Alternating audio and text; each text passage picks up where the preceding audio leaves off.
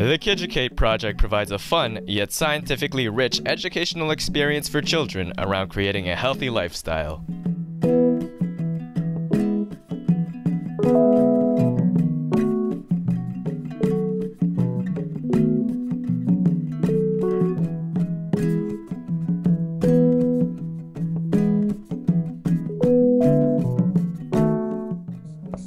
Learned so much today in school.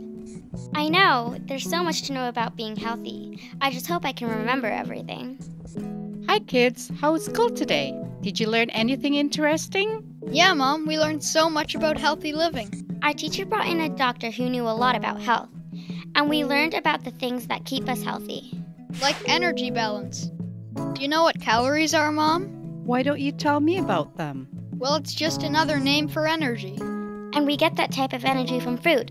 The more healthy food we eat, the more nutrients and energy we have to do things, like run, bike, snowboard, and even think. We need calories for our bodies to work and grow right. Wow, it sounds like you learned a lot. We did. We even learned about having too many calories because if you eat too much and don't use enough energy, your body turns those calories into fat. And having too much fat in our bodies can be unhealthy.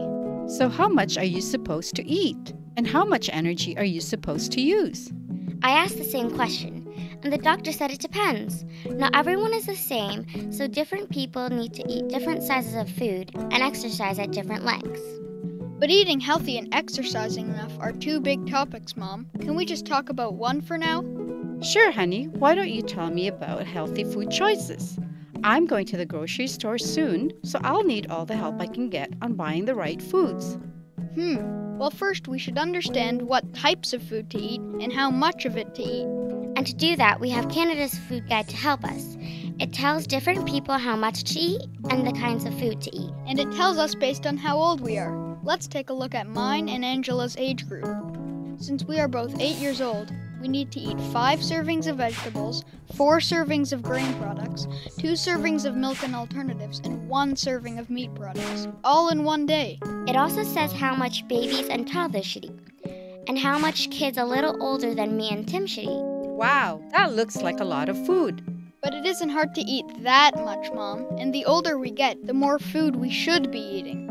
I see. So when you and Angela become older teenagers, you're going to need more food to feed your bigger bodies. Right, but because she's a girl and I'm a boy, we'll need different amounts of food. Yeah, because boys have bigger bodies than us girls. Ah, that makes sense. But what foods are nutritious? And how much of these healthy foods should you eat? So, what is a serving? Our whole class had the same question.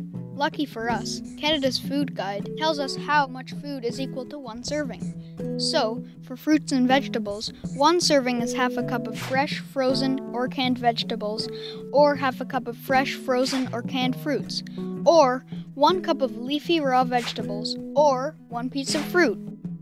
For grain products, one serving is equal to one slice of bread, or half of a bagel, pita, or tortilla, or half a cup of cooked rice, pasta, or couscous, or a three quarter cup of hot cereal. For milk and alternatives, one serving is equal to one cup of milk or fortified soy beverage, or a three quarter cup of yogurt or 50 grams of cheese, which is about the size of two thumbs.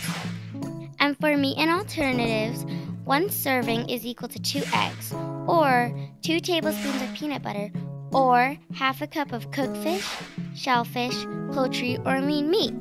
And this half a cup is around the size of a cupped hand. Wow!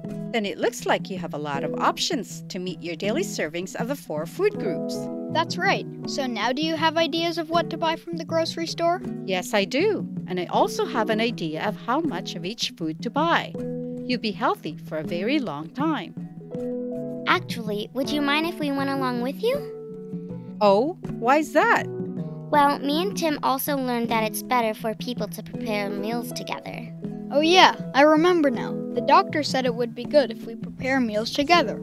This includes planning what we'll eat, buying the ingredients, cooking the meals, clearing up afterwards, talking about what went well and not so well, learning from these experiences, and working to make our eating area an especially pleasant place. Hmm, I've never heard that before. Why is that important? because it makes us put more importance on our eating habits. For one, it helps spread the responsibility of cooking so things get done quicker. We want to be there for you and learn about healthy choices from you and Dad. And if we have any questions about foods we don't know of, we can quickly ask how healthy it is to eat. Learning about different foods is an important part of healthy nutrition. When I'm in the grocery store with my family, there's lots of food I don't know about. So when I ask about them, it helps me decide what I should and shouldn't eat. A lot of food products might say they are low in calories or high in some nutrients or vitamins. But the doctor said some of those foods have things that are added to them that aren't part of Canada's food guide. These processed foods should be avoided or limited to stay healthy. The doctor said it makes me smarter to ask questions about food I'm unsure of. Mm-hmm. And once we know of the right foods to cook, we should also practice good eating habits. For one, we should aim to eat together without any distractions. This includes turning off the TV or any other screens. That way, we can talk about our day, enjoy each other's company, and stop eating in a hurry. And eating slowly makes it easier for us to know when we've eaten enough food. This stops us from eating too much and overeating. That's awesome, kids. I think it's great to cook and eat together. Yeah, me too. So before we head to the store, let me get this straight. You know by now what nutritious foods from the four food groups you should be having and what foods or drinks you should limit or not have at all. You've also learned that we should all help in buying and cooking these healthy foods. This helps you learn and understand the importance of healthy eating choices. Then, once we've finished cooking, we should all eat together and enjoy our meals at a relaxed pace in order to prevent overeating. Exactly. Exactly.